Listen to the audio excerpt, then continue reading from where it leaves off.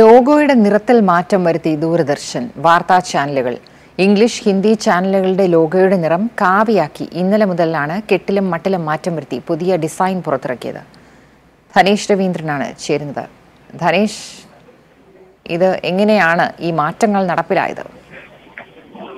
വളരെ ഇന്നലെ മുതലാണ് ഇത് സംബന്ധിച്ച് D D Hindi news channel ഒപ്പം തന്നെ ഡി ഡി ഇംഗ്ലീഷ് ന്യൂസ് ചാനലുകളുടെ കെട്ടിലും മറ്റിലും പുതിയ മാറ്റങ്ങൾ ദൂരദർശൻ സോഷ്യൽ മീഡിയയിലൂടെ പ്രഖ്യാപിച്ചത്. പൂർണമായി അതിന്റെ ചിഹ്നത്തിലെ നിറം കാവിയാക്കി മാറ്റുന്ന ഒരു സംവിധാനമാണ് ഇപ്പോൾ ഉണ്ടായിരിക്കുന്നത്. ഒപ്പം തന്നെ ചാനലിന്റെ കെട്ടിലും മറ്റിലും കാവ്യ നിറം കൂടുതലായി കൊടുത്തുകൊണ്ട് ബ്രേക്കിംഗ് ടെക്സ്റ്റിലടക്കം മാറ്റം വരുത്തിയിരുന്നു. ഏതായാലും ഇന്ന് രാമനവമി ദിനത്തിന്റെ ഭാഗമായിട്ടുള്ള തത്സമയ സംപ്രേഷണം അയോധ്യയിൽ നടക്കമുണ്ടായപ്പോഴും ഇതേ ചിഹ്നവും ഈ രീതിയിൽ തന്നെയാണ് ഉപയോഗിച്ചിരുന്നത്. പുതിയ രീതിയിലേക്ക് മാറുന്നു എന്ന് പ്രഖ്യാപിച്ചുകൊണ്ടാണ് ദൂരദർശൻ ഏതായാലും ഇത്തരത്തിൽ ഈ നിറത്തിലൊരു മാറ്റം വരുത്തി. ഏതായാലും ഇപ്പോൾ ഈ നിറത്തെ ചൊല്ലി വലിയ രീതിയിൽ സോഷ്യൽ മീഡിയയിൽ പല ട്രോളുകളും അടക്കം ഉണ്ടായിട്ടുണ്ട്.